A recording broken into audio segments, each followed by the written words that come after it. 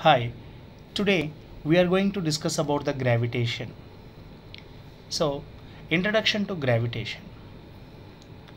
Why does an apple fall down instead of going in upward direction? Why do the raindrops fall on earth? We observe that all things in this earth atmosphere are in downward directions. What makes these things to get attracted towards the center of the earth always? Yes. And uh, why?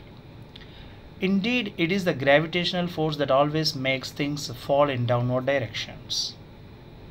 Because of the earth is revolving around itself and rotating around the earth. Generally, what are the fundamental forces in nature? The basic fundamental forces of nature are one is gravitational force, strong nuclear force, weak nuclear force, and electromagnetic forces. And now, some of the examples for the gravitational force. Here I am showing the satellites and the earth around the earth the moon is revolving and the satellites what we are keeping uh, in your orbits and gravitational force or the gravitation. Why do all the objects fall on the surface of the earth? To answer this question, we have to discuss historical discoveries about uh, planetary motions.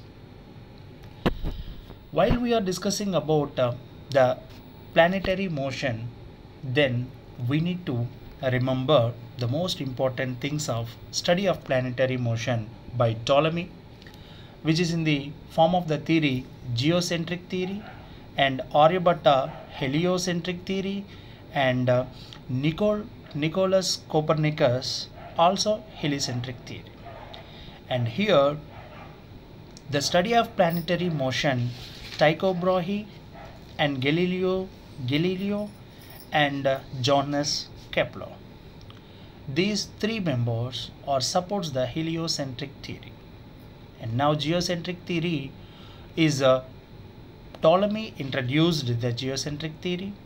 All the celestial objects are like stars the sun and all the planets revolve around the earth. The only motion that was thought to be possible for celestial objects was motion in circle. So here the Ptolemy is the first person to introduce the geocentric theory for the world. And complicated schemes of motion were put forward by Ptolemy in order to describe the observed motion of planets.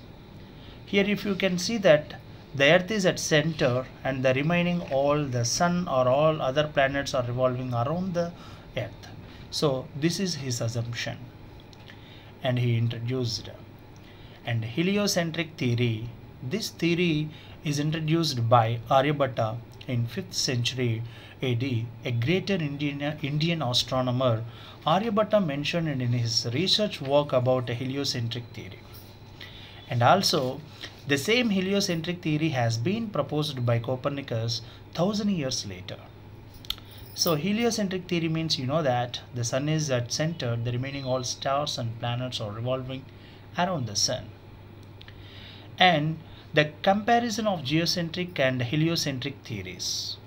So the earth is at middle in geocentric theory and uh, in heliocentric theory the sun is at middle. Now you can see that here is the sun and here is the earth. Now all planets revolve around the earth is uh, geocentric theory. All the other planets revolves around the sun in heliocentric theory. These are the theories. Now in heliocentric theory, our Nicole Copernicus proposed this theory. And this theory states that the earth and all remaining planets revolve around the sun. The drawback of this theory was the sun was thought to be at a fixed position in the center. Now coming to the MCQs in the previous session of our video. The first question here I am going to give that the geocentric theory was given by option A Copernicus, option B Kepler, option C Newton, option D Ptolemy. So here the answer is Ptolemy. I given in this slide Ptolemy is the person introduced geocentric theory for our world. I given in this session. Now the second question, heliocentric theory was given by whom? The options are Copernicus and uh, Kepler and uh, Newton and Ptolemy. So who is the answer? Copernicus. So I given in this slide Nicolaus Copernicus proposed heliocentric theory. And then Kepler's first law of planetary motion. Let we go to discuss the Kepler's laws. The Kepler's laws of first law is the orbit law. Kepler's second law of law of area. Kepler's third law is law of periods. Now, the Kepler's law of planetary motion. Before we study Kepler's laws, let us understand some concepts of ellipse. Otherwise, we are not able to understand the ellipse. So generally the ellipse is, has two axes. One is major axis and another one is minor axis. And here in this ellipse, the, this is called semi-minor axis and this is called semi-major axis. And now if you understand the study of uh, ellipse by the uses of ellipse of two foci and these names are f1 and f2 which are represents. And if you observe that why we are considering the two foci means uh, in Kepler's first law or law of orbits the each and every planet moves around the sun in elliptic orbit. Now you can see that why and how the earth is revolving. Let me go to discuss now. See here. And now here I am going to analyze the focus sun place it is f1 and the earth is in elliptical orbit. Now the distance between the sun and earth is I considered as r and here the focus of the first sun location is s1 and there is f2 now here f1 and f2 are the focus of uh, the ellipse and the distance of the earth uh, from the center of the sun is uh, r and here a to o is a semi-major axis and c to o is a semi-minor axis. And uh, actually perihelion means what and perigee means what in ellipse. So here this is the most important thing. The perihelion and the uh, perigee means the distance of the closest approach of the planet with sun from the distance between P and S uh, is called perihelion or perigee. In the same way, what is the meaning of aphelion or apogee means when the distance between the greatest distance between A to S that means Earth to the planet the distance is called apogee as shown in diagram. Now the MCQs from the last session. The first law of Kepler is also called as what law? One is a law of orbit, law of period, law of area and law of gravitation. Here the answer is law of orbit which I provided. Now every planet revolves around the sun in elliptic orbit with the sun at one of its foci is started as options law of period and law of orbit. And the third option is law of area. And fourth option is law of gravitation. What is the answer now? Here the law of orbit. Now the Kepler's second law of planetary motion now here Kepler's second law of planetary motion. Here the sun is at center and the planet is at some of the distance with the radius vector from the sun r. Now the planet is revolved from one of the location. Now suppose the planet travels uh, for some distance in a finite time. So now what is the area a1 with respect to the covers with respect to the sun it covers a1 area now if you consider another sum of the position in elliptic orbit in this finite time it covers an area of a2 with respect to the sun now this area I considered as a2 now this area A1 and A2 according to Kepler's laws since time taken by the planet is same their area covered is also the same. That means the radius vectors drawn from the sun to any planet which equals to equal areas and equal time intervals. This law is known as law of area and the law of areas can be understood as consequence of law of conservation of angular momentum. The law of conservation of angular momentum is valid for any central forces. A central force is that force on a planet which is along the vector joining the sun and the planet. Now, Proof of law of areas. A planet moves in elliptical orbit from the position A to position B in delta t time interval. So in this time interval the angle made by the planet is theta or and the radius vector is r bar of t. Now the similar time interval delta t from A to B now it's uh, moving like this. Now the r of t is delta t in this time interval it is the arc length which is called as r into delta theta and now that delta theta we need to find that means here the area delta area means uh, the covered area is equals to half into r cross r dot del theta that is equals to 1 by 2 r square delta theta now in this equation delta A by delta T is equals to with respect of delta T equation will becomes uh, when we are dividing then 1 by 2 r square into delta theta by delta T. We know that delta theta by delta T is equal to angular velocity. Angular displacement by time is equal to angular velocity.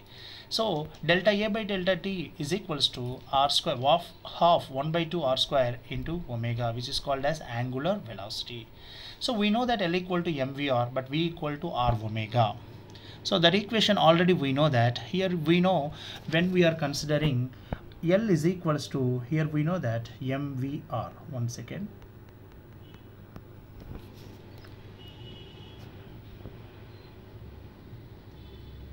here we are going to discuss about uh, this one now here we know that L is equals to mvr but we know V is equals to R omega. By substituting V equal to R omega here, we are getting R square omega square.